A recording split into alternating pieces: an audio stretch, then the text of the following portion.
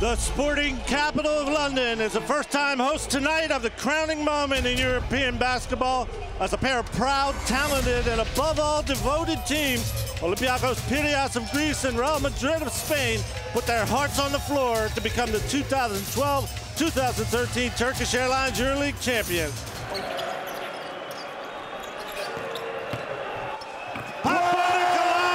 going baseline, just like he did in the semifinal.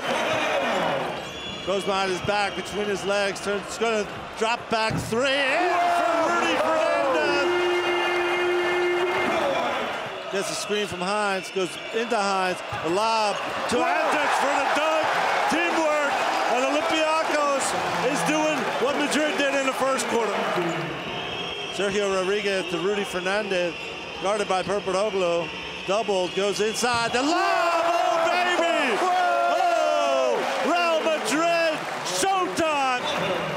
Return of Olympiacos, Spanoulis is in there and he takes another one. He hits another one!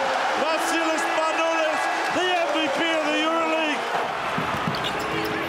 This is the running game of Real Madrid. Rudy for three. Rudy, puts Madrid ahead. It's going back and forth. Looking for Carroll, stolen by Papanikolaou. Ahead to Spanoulis. It's going to be Papanikolaou Gets it to Printezis, gets it to Spanoulis. Four in the cock. What a long three-pointer.